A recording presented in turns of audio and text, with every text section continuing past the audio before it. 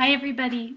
I would love to go over how to restore a photograph for your restoration project. I'm going to just actually show you a couple of the quick fixes that you'll be using and working slowly on for this project. it should take you a long time if you do a good job. So um, this is the project that we're going to work on. What I want you to first do is find an old damaged um, family photo to restore. Um, if you cannot find one, get a hold of me and we'll figure out another plan for you. Um, what you need to do is take a scan of that photo or you can simply just get a really good close-up image of it. So take a picture of the picture that you will use to restore. So you can get a digital file is what you need to do. Once you have your digital file, then you're going to work in Pixlr.com. So I'm first going to show you how to use the healing brush tool, which is here in the first directions, and then I'm going to go over how to use the clone stamp tool. And then the last one is you can try is called skin smoothing, which I'm not going to go over in this one because that's more for close-up portraits. Um, and that just kind of gives you an overall uh, glamour glow, I guess you could call it, if you really need to um, even out the skin tone if you're doing a close-up portrait. You may or may not want to use this last one. The first two you'll probably be using quite a bit. So I'll go ahead and go over to Pixlr. You're going to choose Editor. And I'm going to have you open up your image your digital image that you created. I actually have it already open over here. And I'm going to start with this photograph that I have. It's actually my great-grandmother. I'm not sure who this is. I don't think it's my great-grandfather, but I do know this is my great-grandmother. This is a great picture. There's all kinds of things wrong with it. There's stains, there's spots, there's scratches and rips. If I was going to restore this completely, this would take me a very, very long time. I'm just going to go over a few of the tricks with you. Okay. So I'm going to start with zooming in on my picture a little bit because it's a little bit small and I'm going to start with working down here in this little area on the bottom corner to show you a couple of the examples. You can zoom in as much as you want. I'll come in closer so it's easier for you to see. All right, let's start with Healing Brush Tool. It's the one that looks like a band-aid. This is an excellent tool. It's great. It works really well, except for once in a while it doesn't work at all. So you will see the difference when you would want to use your Healing Brush Tool and when you would want to use the Clone Stamp Tool. It depends on where you're working in your photograph. You can see there's a lot of problems here.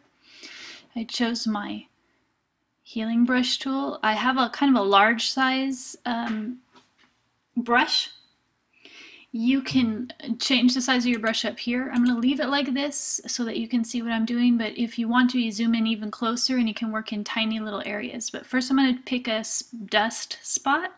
I'm going to click right on top of it with my healing brush tool and like magic, it's gone. I'll do a couple more for you so you can see it. This will take a long time to get all of these little dots, but if you do it right and you work slowly, you'll get all of this fixed. So you can see this is kind of wonderful tool.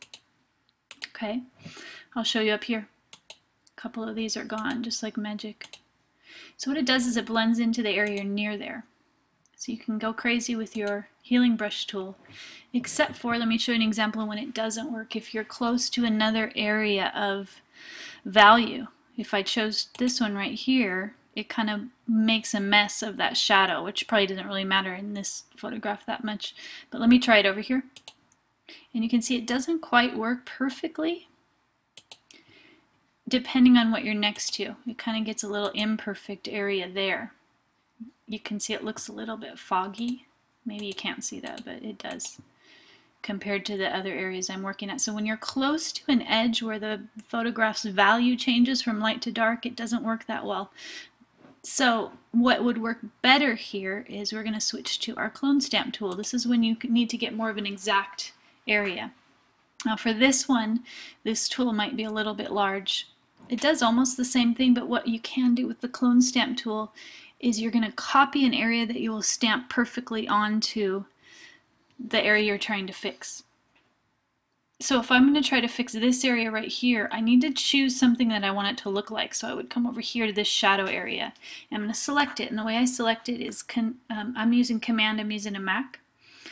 Command, and it gives you a little target area, and then you click to select. If you're on a PC, you're going to use Control and click. Or I'm sorry, it's Alt. Alt click. That's what I think it is on the PC. And then it selects your target area. Now watch what happens when I move over here to click you're going to see over here where I selected from, you're going to see a little X show up. That's my target. What it's doing is it's letting you know where you're copying from. And I can make a more exact shadow. So I have a, a, a harsher line or a sharper line depending on the brush I'm using. I'm using a soft brush, so it didn't really give us a harsh line. I'm using a soft one. If I wanted to um, switch to a different shape brush, I'm going to use a hard edge brush. I'll show you a better example of it. It gives me a harder line, which you can see showing up there. You may or may not want that. I tend to, see, I don't know if you can tell the difference. I tend to like the softer brushes. It gives me a little bit of, of room to make a mistake. Now, what would happen if I came up here to a different area?